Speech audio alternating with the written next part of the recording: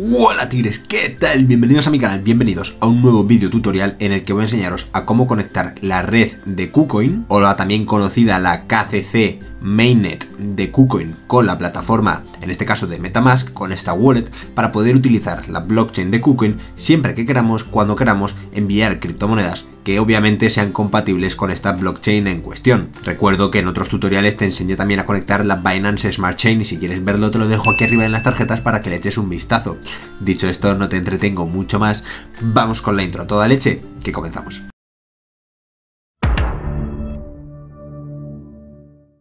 Bien tigres, pues ya estamos aquí, ya estamos de vuelta. Y como estáis viendo dentro de la pantalla estamos dentro de la plataforma de Metamask. Y si todavía no sabes utilizar Metamask te voy a dejar un video tutorial por aquí arriba en las tarjetas, así que échale un vistazo inmediatamente. Si tienes alguna duda, aprovecha también para preguntarla, dejarla en los comentarios y si al final el vídeo te sirve, le vas a dar un super like y te vas a suscribir al canal para pertenecer a esta super familia. Para agregar la red de KuCoin es muy sencillo.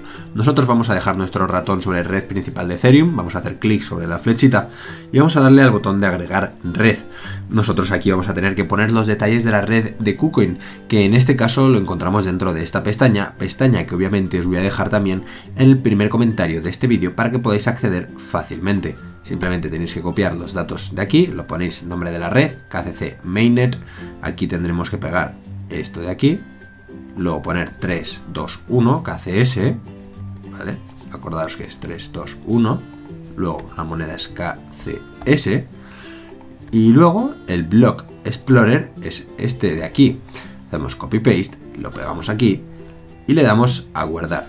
Ahora mismo, si nosotros queremos utilizar esta blockchain, tendremos que seleccionarla, la KCC Mainnet. Si estamos en red principal de Ethereum, pues ya no estaremos ahí, sino tenemos que irnos a la KCC Mainnet y estaremos ahora mismo dentro de esta blockchain y ya la habremos agregado correctamente. Por eso, si el vídeo te ha servido, dale un mega like, mírate este otro vídeo para aprender cosas nuevas dentro del mundo de las criptomonedas o suscríbete aquí para tener los mejores tutoriales dentro de YouTube.